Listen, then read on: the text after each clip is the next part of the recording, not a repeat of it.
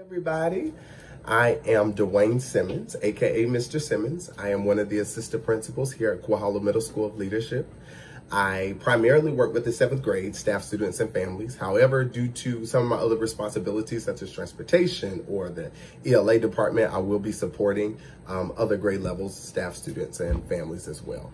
Um, I am a big relationship person, so I definitely look forward this year into building relationships with people that I haven't built relationships with thus far, um, or I haven't met thus far. I also look forward to bettering my relationships with those who I have met and have built some sort of a relationship with. I know that this pandemic and COVID-19 has kind of shifted some things for us, but I am wholly, holistically committed to all of the work that it takes, and I'm still excited about this school year. Um, my expectations for students and families this year are two things. One, perseverance, and two, communication. This pandemic is, is difficult and it's brought a lot of hardships for us.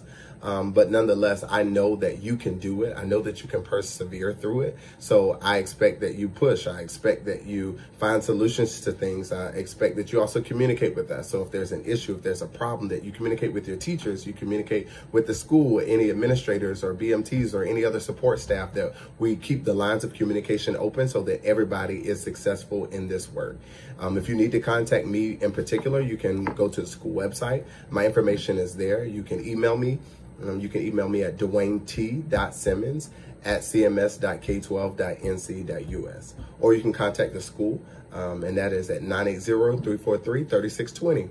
Outside of that, I look forward to a phenomenal year. I know that it's going to be nothing but phenomenal, and I can't wait to see everybody.